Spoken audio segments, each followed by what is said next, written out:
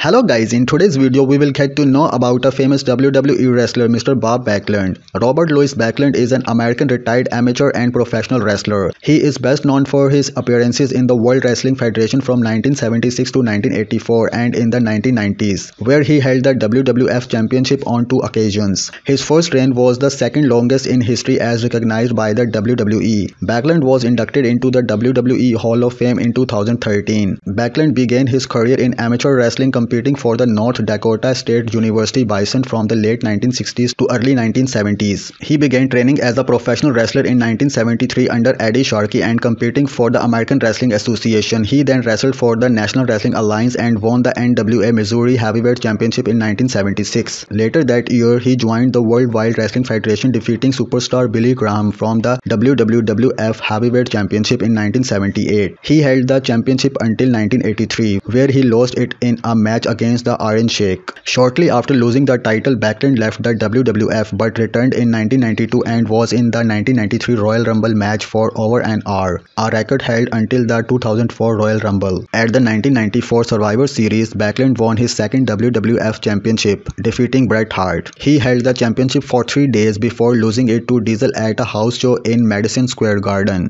In addition to his time with the WWF, Backlund has had success in wrestling and romance, championship wrestling from Florida, New Japan Pro Wrestling, and was inducted into the George Tragos/Lou Thesz Professional Wrestling Hall of Fame in 2016. Mr. Bob Backlund, date of birth, born 14th August 1949, and now he is 73 years old from Princeton, Minnesota, United States. Wife, Corinne Jensko. He got married with her in 1974. Children, Carrie Backlund. Real name Robert Louis Backlund. Ring names Bob Backlund, Mr. Backlund. His build height is 6 feet 1 inches. His build weight is 106 kilograms. Built from Princeton, Minnesota. Trained by Eddie Sharkey. Debuted. He debuted on 1973. Retired. He got retired on 2018. Thank you guys for watching my video. I hope you like my video. Please do share and subscribe my YouTube channel.